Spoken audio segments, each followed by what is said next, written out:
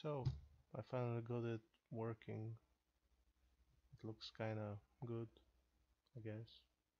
Except for the white outline here. I could have smoothed it up a little bit, but whatever. It looks cool. Looks like a portal actually.